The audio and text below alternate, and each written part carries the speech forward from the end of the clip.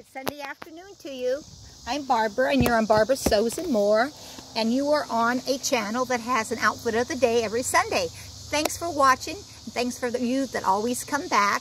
Uh, this is a two-piece outfit from two different patterns. I had meant to get the pattern numbers and forgot. So if you are interested, I will get those and tell you the numbers. But this is just a simple little white eyelet blouse with quarter length sleeves. Uh, it is sheer, so I do have a yellow cami under, and you could use a flesh cami color if you wanted.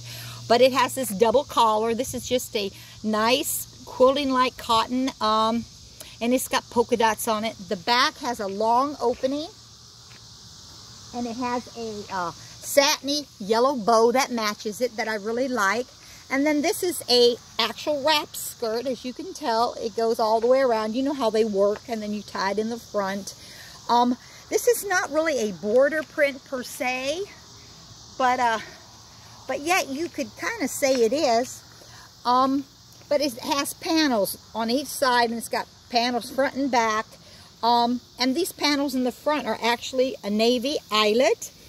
Um, if I had to do this over again in sewing this, I don't know that I would use this lighter blue color to this blue, but yet I don't know that it looks bad.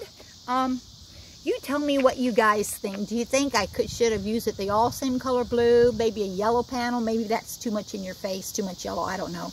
But uh, for the most part, I really like how it ended up. It is a maxi.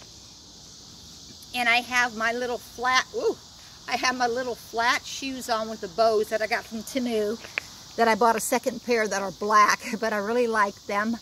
Um, yeah, this is it. So, uh, I hope you all have a blessed Sunday. Um, put a thumbs up. I really would appreciate and comment down below. But um, you guys take care and I will be back at another date. Bye-bye.